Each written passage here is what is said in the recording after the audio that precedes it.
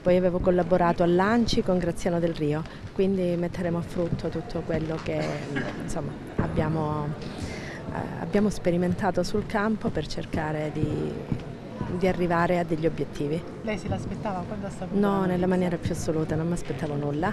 L'ho saputa ieri sera, cinque minuti prima che fosse, insomma, che Renzi andasse in televisione a dirlo. È ancora Sì, cosa ho pensato? Non lo so cosa ho pensato, che era una cosa un po' incredibile, ma sembrava vera. Sembrava.